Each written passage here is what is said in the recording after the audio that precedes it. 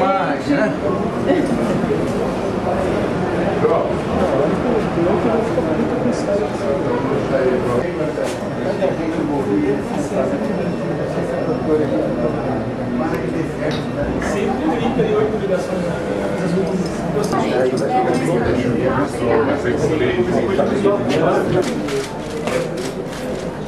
Tem mais presos deixando a cadeia pública de São Roque para a desativação total que acontece nesse dia 3 de abril, momento histórico para a cidade de São Roque, já que a cidade terá a total desativação da cadeia pública. É o Jornal da Economia acompanhando aqui passo a passo, você vê aí várias autoridades também assistindo à saída dos presos da cadeia pública de São Roque.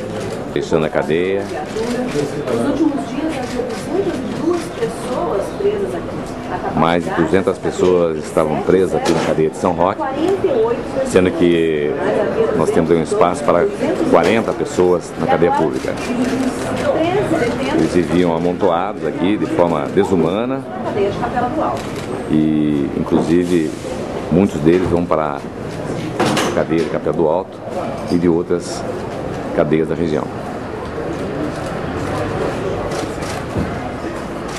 Mais presos, deixando aí a cadeia de São Roque. Você observa essas imagens que vão fazer parte da história da cidade. Já que, a partir de hoje, a cadeia de São Roque será totalmente desativada.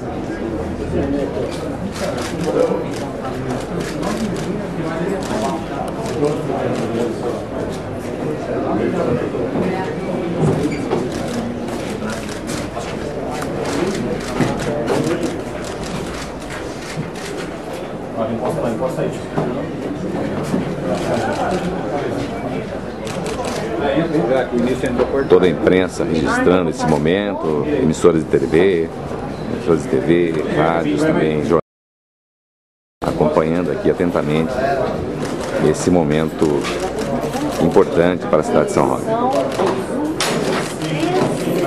Aí, esse momento sendo fechado aí esse compartimento do veículo que vai levar os presos de São Roque até Capela do Alto e outras cadeias da região.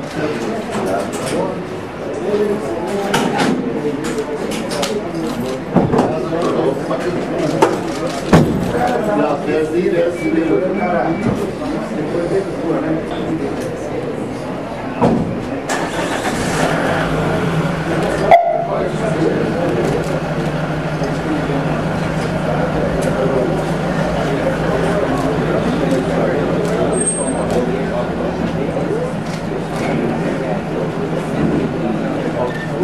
Gracias.